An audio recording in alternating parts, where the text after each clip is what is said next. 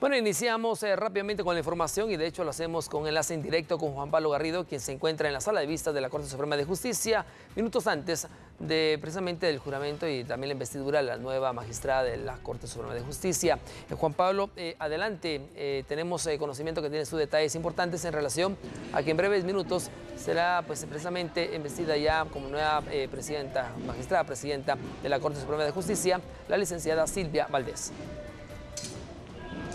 Así es, Axel, gracias, buenas tardes. Queremos dar a conocer que nosotros nos encontramos ubicados en el ingreso principal del Palacio de Justicia. Es en este lugar donde en pocos minutos se estará dando inicio la solemne, eh, se estará eh, realizando la toma de posición de la magistrada presidente del organismo judicial y Corte Suprema de Justicia, Silvia Patricia Valdés Quesada.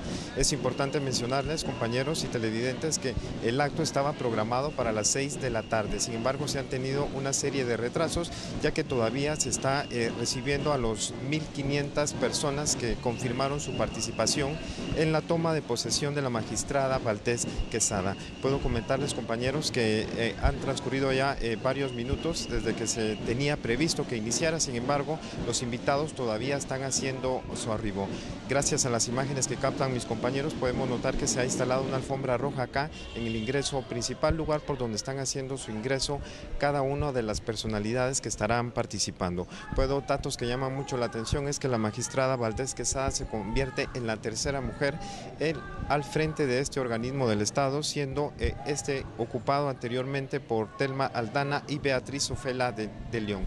También otro dato que llama mucho la atención es que se convierte en el 59 presidente de este organismo del Estado. Axel, es la información que podemos eh, trasladar a esta hora desde esta parte de Torre de Tribunales y Organismo Judicial.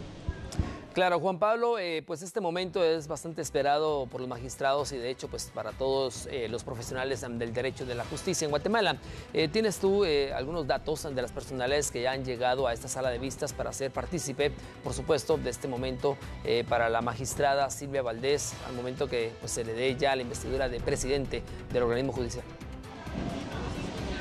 Axel, hasta el momento, eh, te repito, eran 1.500 las personas de 2.000 invitaciones que se giraron, las cuales confirmaron su participación. Hasta el momento estamos a la espera de que autoridades representantes de los organismos del Estado hagan su ingreso acá al Palacio de Justicia. Puedo también comentarles que hasta el momento se están recibiendo eh, a estos invitados por este ingreso. Sin embargo, estamos a la espera de que tanto el presidente de la República, Jimmy Morales, como la fiscal general Tel Maldana, también el embajador de Estados Unidos, Todd Robinson, hagan su ingreso para poder participar de esta ceremonia solemne, la cual se estará realizando en breves minutos.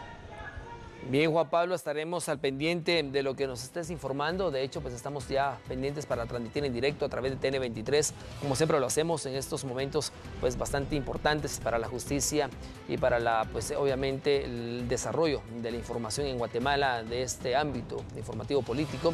Pues estaremos dándole a conocer a usted en directo en breves minutos, cuando ya inicie en la sala de vistas de la Corte Suprema de Justicia este evento tan esperado para los magistrados de la Corte Suprema de Justicia del organismo judicial y de los tres poderes de Estado que están, de hecho, en este momento.